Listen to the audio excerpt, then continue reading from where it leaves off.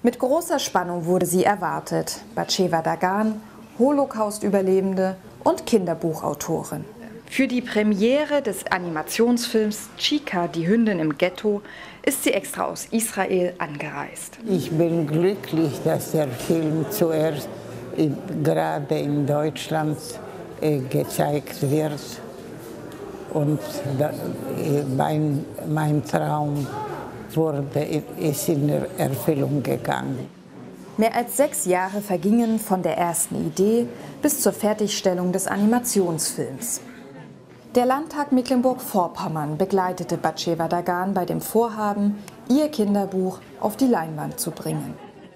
Batsheva Dagan begleitet uns im Landtag schon seit 14 Jahren. Und sie schafft es immer wieder, junge Menschen zu begeistern, darüber nachzudenken, wie sie leben wollen, welche Verhaltensweisen, welche Werte sie leben wollen.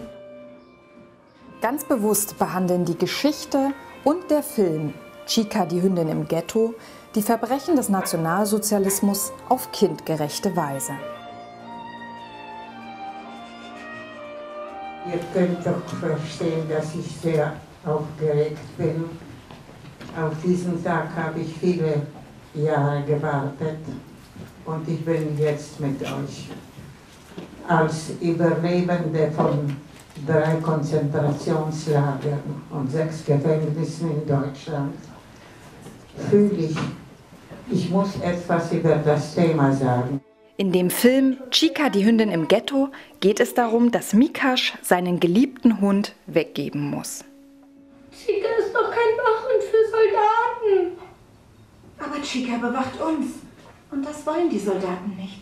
Dann, dann müssen wir Chica verstecken. Aber wo denn? Ein Gebell würde doch aus jedem Versteck zu hören sein. Ich bringe Sie zu Frau Lucia. Nein! Sie ist keine Jüdin und wohnt nicht im Ghetto. Keine Angst. Die Soldaten werden mich schon nicht erwischen. Heute Nacht gehe ich. Nein, Chica!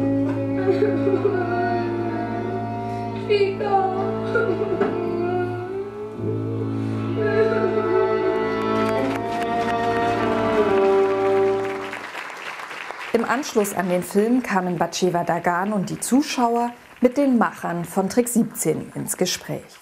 Vor allem danke ich Trick 17 wegen dieses Projekts, so wie mir eine Herzensgelegenheit war und ist und so viel Kraft und Zeit und Kreativität investiert haben.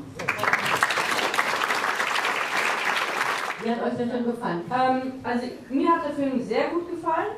Auch so die kleinen Details, zum Beispiel auch die Zeitung. Die sind mir auch erst ein bisschen später aufgefallen. Und die Bücher. Mm, und dass die Häuser auch aus Koffern sind. Das fand ich auch echt cool. Also generell ist der Film echt super. Ich wollte nur sagen, dass dieser Film wirklich zu Tränen rührt. Er ist sensationell und er ist mit einer derartigen Liebe und mit Engagement entstanden. Das sieht man. Und das Wichtigste überhaupt ist, dass er eine möglichst große Verbreitung findet. Verbreitet wird der Film zunächst auf Festivals.